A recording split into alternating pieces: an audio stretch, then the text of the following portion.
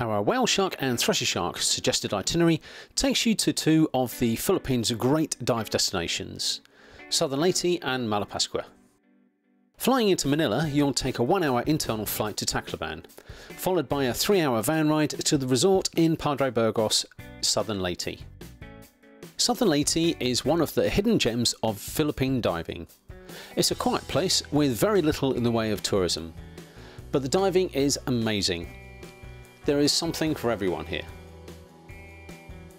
You will have five days to explore the dive sites like Napantao, Max Climax Wall and Adrian's Cove, which offer spectacular scenery and an abundance of life. Macro life is prolific and special things can be found on every dive. But two dive sites stand out for macro lovers. Little Lembeh and the infamous Padre Burgos Jetty night dive. Then of course there's the whale sharks. The recognised season is November through to early May. However, the odd individual may pop up at any time. Being nature, this is by no means guaranteed. Snorkeling only is permitted with the whale sharks, but if you're on a dive in the area, you may see one pass by. On day 7 you'll leave Southern Leyte and transfer to Malapascua in the north of Cebu. Malapascua is a beautiful tropical island with white sand beaches and enough resorts and restaurants to give you choice and atmosphere without feeling overcrowded. You will have five dive days and an off-gassing day before you fly home.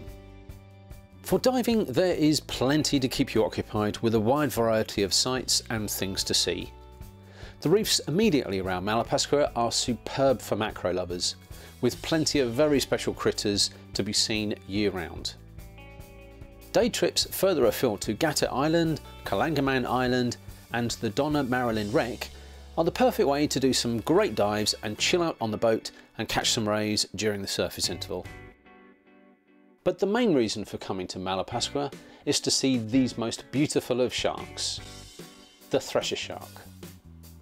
Monad Shoal is the only place in the world where you can predictably see thresher sharks almost every morning coming up from the deep to be cleaned by small cleaner fish.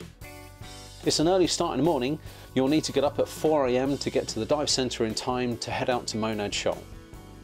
On the upside, you'll have the whole day ahead of you to explore the other wonderful dive sites around Malapascua, knowing you have just experienced one of the most beautiful and elusive of sharks.